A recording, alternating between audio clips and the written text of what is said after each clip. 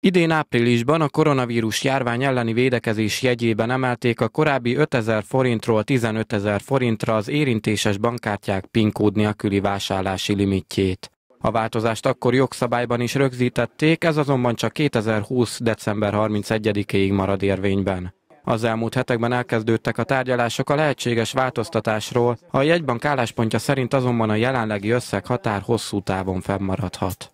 Gyakorlatilag ezzel a fizetési tranzakciók közel 90%-át úgy ki lehet fizetni, hogy nem kell hozzáérni a pinpadhoz, tehát a terminálhoz, és ez mindenképpen a járványhelyzete tekintettel egy nagyon előnyös tulajdonság. Egyetlen egy olyan kérdés valamit meg kell vizsgálni, és ez is az egyetlen kockázat ezzel kapcsolatban, az pedig az, hogy növekszik ettől a visszaéléseknek a lehetősége. Az eddigi adatokat néztük, ez alapján mi úgy látjuk, hogy nincs ilyen probléma, tehát mi nem látjuk annak akadályát, hogy fennmaradjon a 15 ezeres PIN kódmentes vásárlás.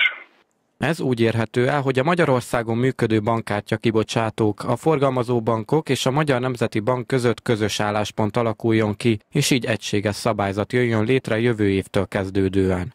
Ahogy azt az MNB ügyvezetője is mondta, a visszaélések száma a tavasztól tartó időszakban nem növekedett jelentős mértékben. Ez azonban a bankkártya elvesztése esetén folyamatos veszélyforrás lehet, érdemes ezért felkészülni ilyen eshetőségekre. Először is, hogyha az ügyfél szeretné, akkor tud a kártyahasználati limitekkel játszani, akár úgy is, hogy ha van mobil applikációja, akkor a vásárlás előtt felengedi szokványos limitra, amit el fog vásárolni, vagy utána visszarakja nullára. Ezt több banknál meg lehet csinálni, teljesen ingyenes, és azonnal életbe lép.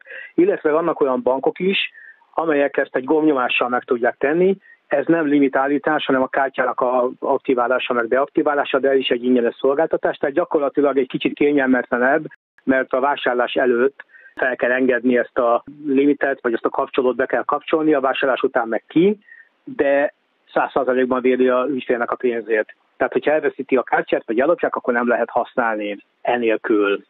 Biztonságosabb megoldás lehet emellett a mobil fizetésre való átállás. Erre szintén a jelenlegi jogszabályban érvényesített limitek vonatkoznak, ugyanakkor minden fizetés alkalmával azonosítani kell valamilyen formában magát a vásárlónak. A visszaélések másik halmazát az internetes vásárlások során előforduló adathalász kísérletek adják. Ennek kivédésére azt javasolják a szakértők, hogy mindenki csak olyan internetes webáruházban vásároljon, amit ő maga keres fel a böngészőben, az e-mailben vagy SMS-ben érkező ajánlatokat ugyanis gyakran csalók generálják.